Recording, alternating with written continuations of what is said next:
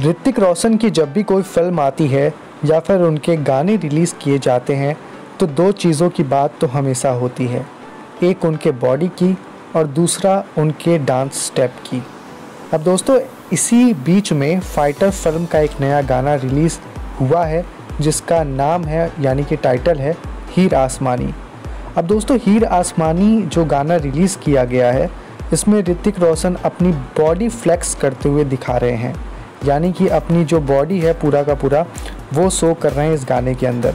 और जिसको देख के पब्लिक कह भी रही है कि भैया यार तो मतलब इतने 40 साल से ज़्यादा एज के हो और ऐसी बॉडी मतलब कोई मान ही नहीं सकता। लेकिन क्या करें? इस बॉडी को बनाने के लिए ऋतिक रोशन ने की है बहुत बड़ी मेहनत। जी हाँ चलिए आपको बताते हैं कि आखिरकार ऋतिक रोशन ने क्या कहा है अपने बॉडी को लेके। दरअसल ऋतिक रोशन ने इंटरव्यू में कहा कि मैंने अपनी फ़िल्म फाइटर के लिए टोटल पाँच महीने से भी ज़्यादा समय दिया है सिर्फ़ और सिर्फ़ शूट करने के लिए और उनका जो डाइट वगैरह होता है, कीटो डाइट वगैरह चलती, इन सारी चीज़ों के लिए उन्होंने अपने बॉडी पे पाँच महीने दिए हैं, तब जाके ऐसी बॉडी फ्लेक्स कर पा रहे हैं फ़िल्म और गानों के अंदर। तो दोस्तों, आपको बॉडी कैसी लगी ऋतिक रोशन की और आपका क्या कहना है इस बारे में कमेंट में लिख के अपनी राय जो है ज़रूर बताएँ। सब्सक्राइब कर दोस्तों, चैनल को टॉप अप फैक्ट्स को। धन्यवाद।